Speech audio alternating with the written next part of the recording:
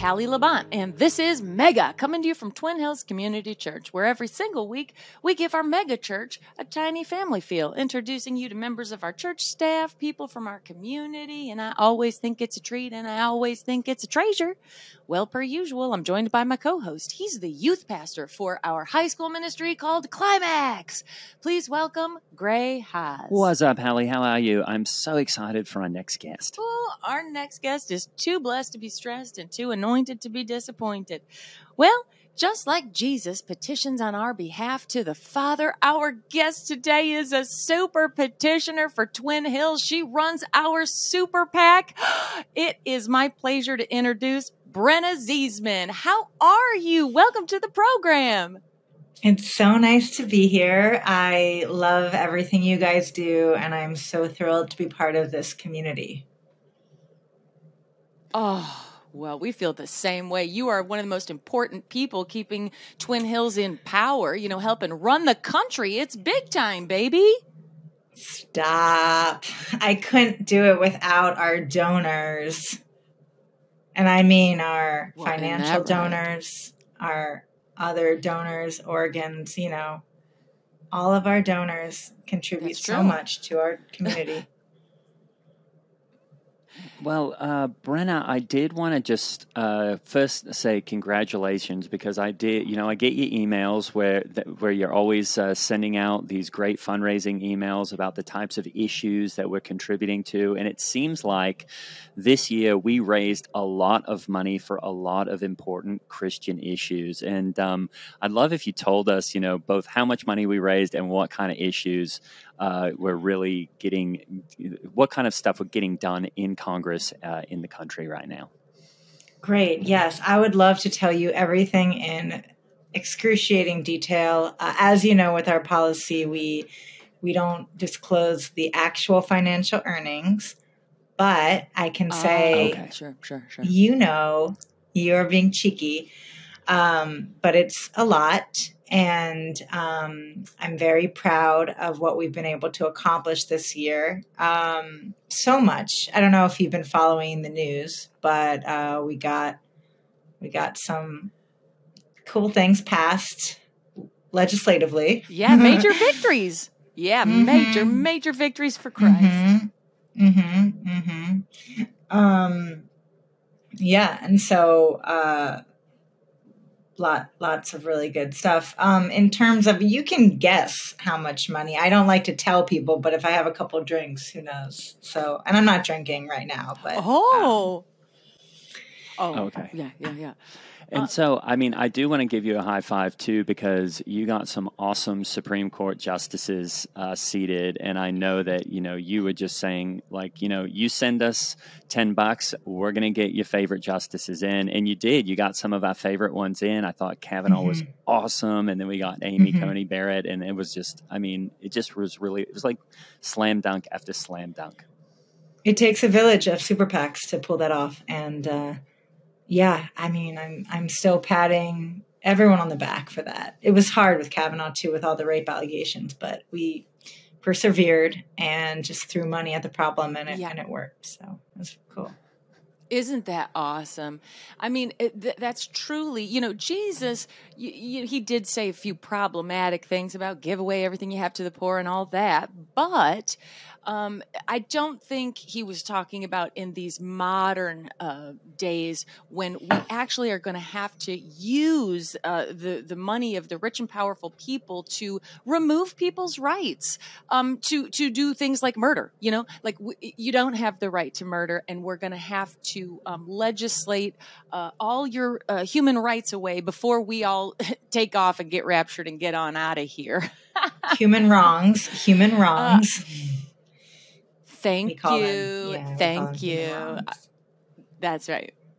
That's right. I, I've been, you know, I feel like, um, you know, Christians, we've had such a good year, and then we just got slapped back in the midterms because the gosh darn liberals are so angry about, um, you know, uh, well, how loving we are in terms of you know trying to protect human life and um, you know just make people live by our standards basically. And so they're real angry right now but it's the same way. I mean i've raised kids. They get so mad when you try to you know keep them on the straight and narrow because they don't realize it's for their own good. Um, do you have kids brenna?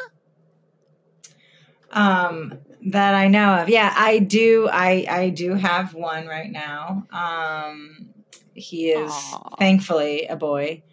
Um, and uh, nice. good, good, good. Yeah, I would have not wanted a girl. You know, they just well, yeah, because a boy can be president, a boy can be mm-hmm. really anything. Um, you know, the the men are in charge as it should be. You know, mm-hmm. and um, boys are fun to raise. They're really fun to raise because you know they don't have a lot of the emotional problems and all that. With a girl, mm-hmm. they're going to cry. With a boy, you can just be like, dry it up, shut up. You know, mm-hmm. boys aren't mm-hmm. supposed to have feelings, and it makes it way easier. I've found. How many how many boys do you have, Hallie? Well, I only have I have one boy, and he's a teenager. And Brenna, I'm going to be honest with you. These are some hard years. He's challenging uh, everything I've taught him. I've raised him with the, a good Bible knowledge, and now he's using it against me. Brenna, he's, you know, uh, got all these ideas about you know loving and loving meaning being inclusive. He wants us to just mm. include everybody and anybody. He's getting poisoned by the liberals. He thinks that every American adult should be able to vote vote. And I'm like, honey, this is a democracy. And you'll learn in your political science classes that it's not every adult gets to vote. It's, it's, we want the right people to vote, you mm-hmm. know? And mm-hmm. uh, that's hard for kids to wrap their heads around, but you know, their skulls aren't completely hardened yet. Mm-hmm. Yeah. That, that makes sense.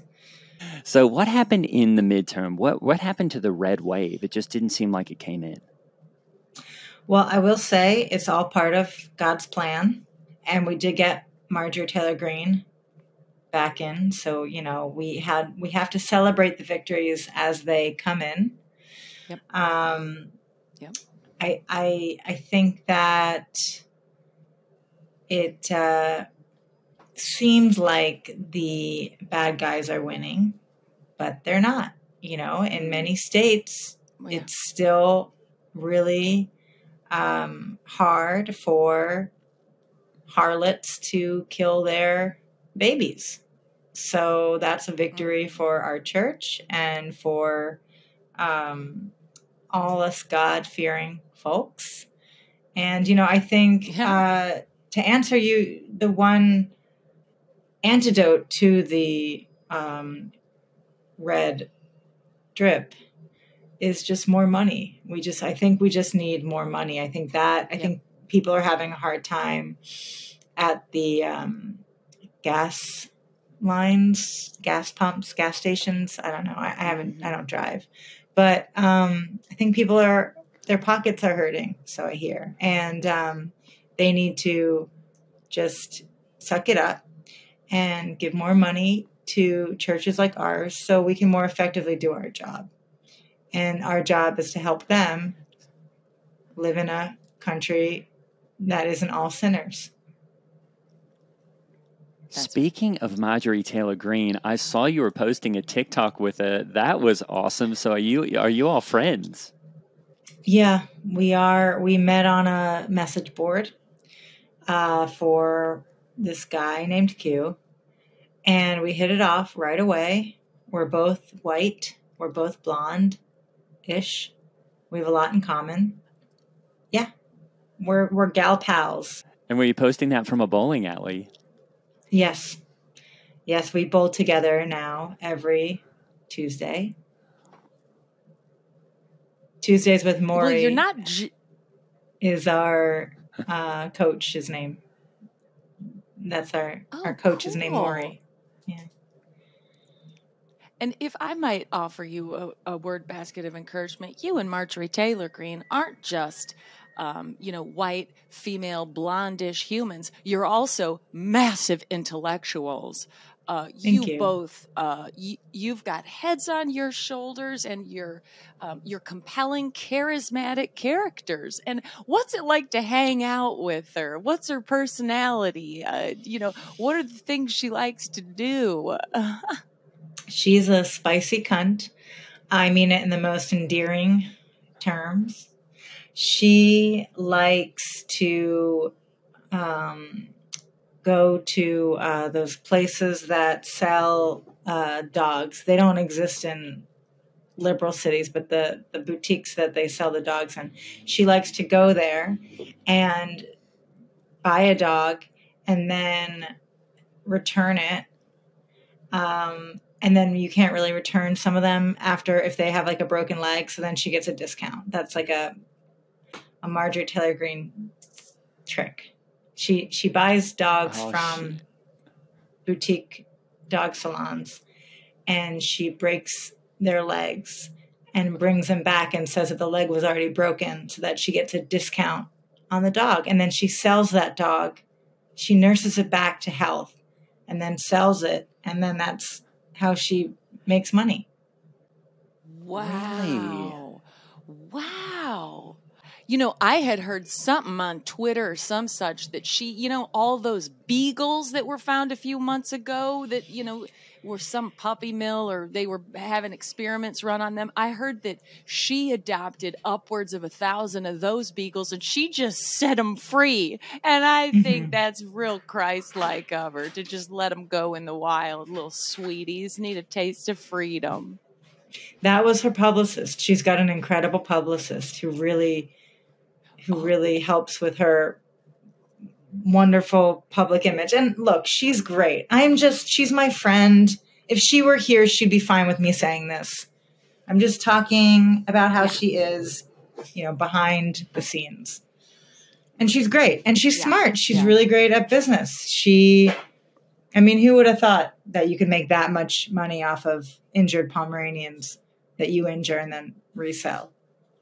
Genius Well, I mean, I guess she isn't on a, a committee right now, so I think she's probably got time to think up creative hustles. Isn't that right? Yeah, Mhm. that's true. And Brenna, you had mentioned that you don't drive, and I wanted to tell you that I think it's so cool. I saw you in the driver's seat of that beautiful ruby, uh, ruby red Tesla that's self-driving, and I was next to you at a stoplight. I couldn't get your attention, but I looked in the front seat of your car and saw that you had a manicurist in there in the passenger seat giving you a full on manicure on the way to work. She even had the little, you know, finger drying uh, Mhm. machine that you could put your hand in to get your gels, uh, you know, dry faster. And I just thought that was so cool. I said, that's a sign of a successful woman. Not only do you not have to drive, but you can multitask, right? Mhm. Well, thank you. Yes. Um, that is Lilith, my manicurist who I travel with. Thank you. And I, I would drive, but I can't. I'm not legally allowed, but that's a whole nother story for another time. Um, thank you. Yeah. I mean, success is, uh, who it's, it shows up in all sorts of ways, but I, I, I'm glad that you clocked that. I worked really hard to have, um, a manicurist in my car. So thanks. So you can sit in the driver's seat of a Tesla as long as you're not, as long as it's on autopilot. You, it's not considered driving. Well, someone else breathes into the um, what's that called? Um, what's that called again? That thing. Oh, someone else does. thing? Lilith does that. Lilith does that, and uh, so yeah, I can oh, I drive. see. What? And so, what happened that you have to breathe into that? Do you have asthma or something? Mm, hmm Yeah, that's what it is. Well, if I might offer you some uh, encouragement, you know, there's no shame in not driving because not only is it a pain in the behind with traffic and whatnot, but you know what? Some of the greatest minds and most powerful people on the planet don't drive. You know, Mhm. look what happens when you become president. You get a driver. So it's Mhm. just a status symbol, really. And, you know, if you've had your license taken away or whatnot, um, you know what? That just frees your hands up for more prayer, mm-hmm. I say. mm-hmm. Yeah. You're exactly right. And you know, you mentioned earlier or, or being an organ donor. Um, right. And, yeah. How does oh, that I'm work? Not. Can you don- donate an organ? Oh, okay. Oh, no, no, no. Our church has a organ donor uh, beneficiary. It's part of our fundraising. It's one of in our portfolio. I see. Or organs are, are we, we have a very diversified portfolio. Our church because you need a lot of different uh, financial instruments to really run a church as as big as ours, and one of them is organ donating, donating, donating. Oh, I see. Oh, I see. So, so you can donate an organ, and then you all somehow take that organ and monetize it somehow. Yes, basically, yes. People, church par- parishion- parishioners uh, will donate organs, typically kidneys, because they can still also donate money after they donate a kidney. And um, we then donate with um, to to don- to donors. We donate organs to people who donate money to the church, and it's kind of like a nonprofit for-profit situation to raise funds for the church and, and give people organs at the same time.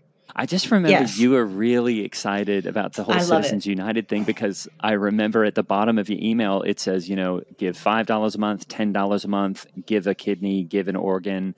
Like I, I, I loved can. all that. That give what you can. Yeah. Give what you can because that's really what it's about. We don't want to persecute people who can't afford to be members of the church. And and you can you can give you can give so much more than money.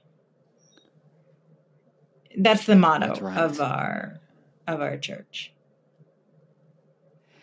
and that's least cool my- because you know you hear like you know donate canned goods to the food pantry. Donate your old clothes you know to the christian organization the salvation army. But i've never thought about going so far. I mean you can donate blood. I do it all the time. You can donate plasma for money. But i Mhm. never thought about donating organs. That's real cool. That's Oh, yeah. you know using what god gave you And you save the life of the church by doing that.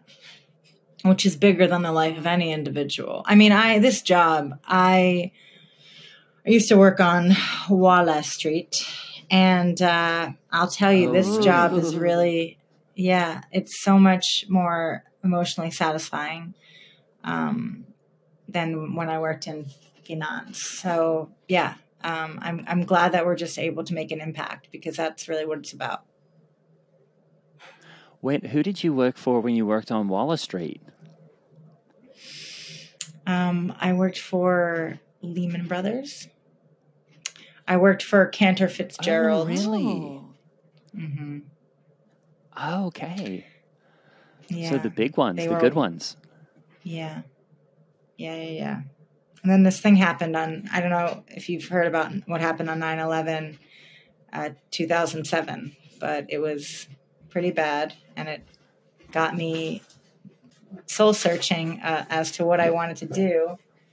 Um, and I decided I wanted to give back to the community. And so I left Wall Street and I joined the church. So what is that what they call 9/11 2 in the business world? Mm-hmm. 9-11, the squeakquel. It uh, didn't involve a terrorist attack. It just, I got dumped. I got dumped by my boyfriend who was my boss. And I was like, fuck this.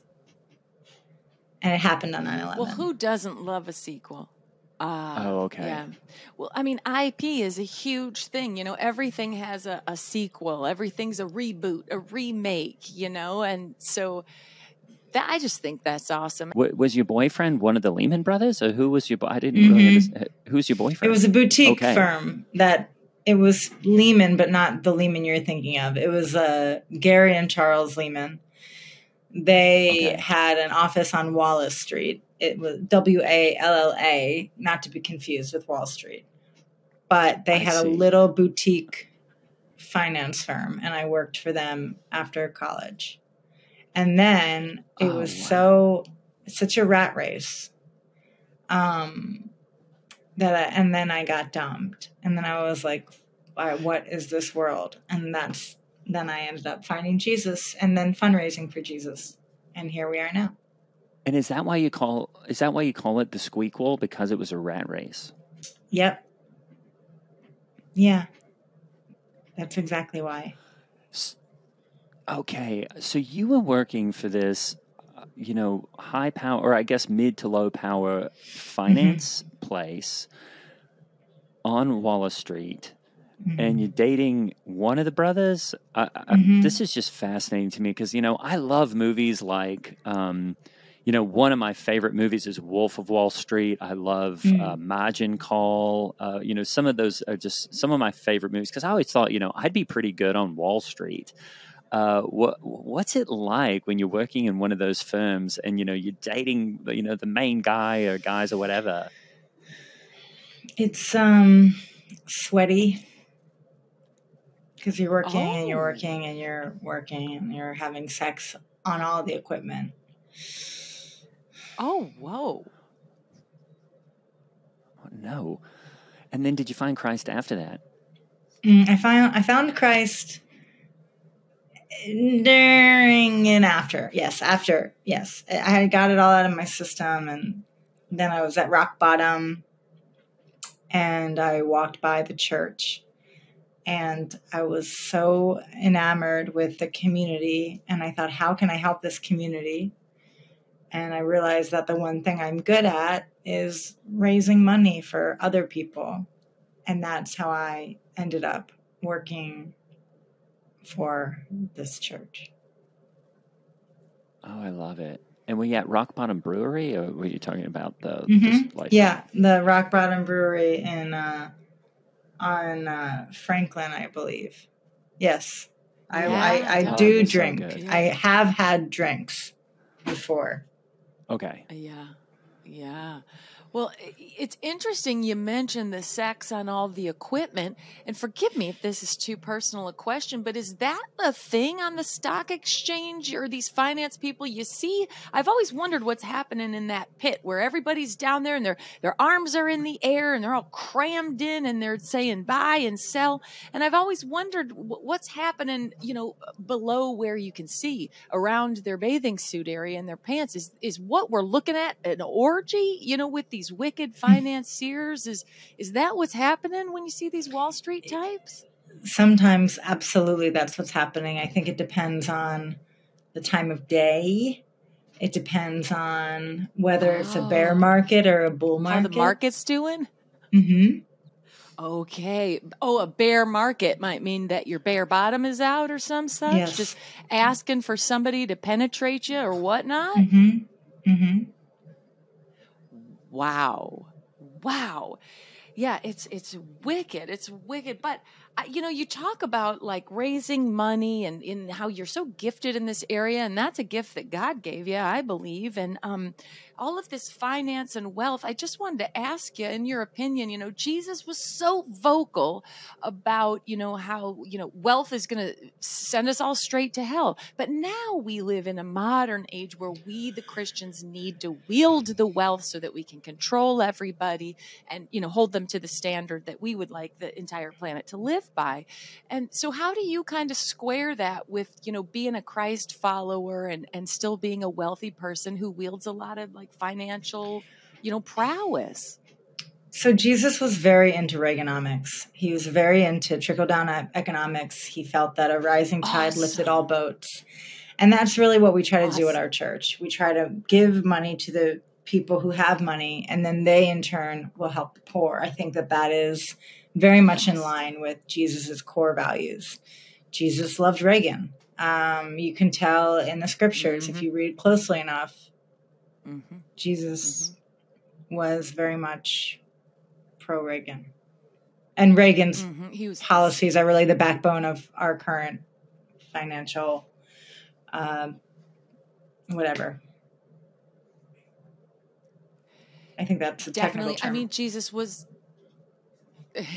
well i'm glad because that's one i can understand and i don't understand most of that stuff but yeah i agree with you. Jesus was nothing if not a staunch late stage capitalist um, and uh, you know uh, a, a staunch late stage capitalist and an, and an authoritarian, um, Mhm. uh, you know, a strong man, and um, that's why we like these guys. Uh, you know, l- you know, like Trump. You know, somebody who's going to say like, "I'm I'm masculine. I'm I'm a good business person." I mean, we we're now in the age where we need good business people like a Marjorie Taylor Greene and a Trump. These good business minds, you know, wielding the the, the power at the top. Um, are you married? Yeah. Uh, yeah. Yeah. What does he do? He also works at the church. We try to keep our relationship quiet, but if you want to take a guess as to who he is, I'm not going to say no.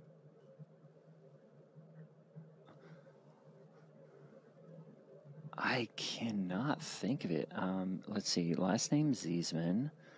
Mhm. Um, I know there are like seven Ziesmans of the church, but it's one of them. D- oh, is oh, what, is it? What, is it Charles Ziesman of the Ziesman brothers? oh You got it. I have a type. is it Charles? It's Ah! Charles. Wow, he's so Ziesman. old.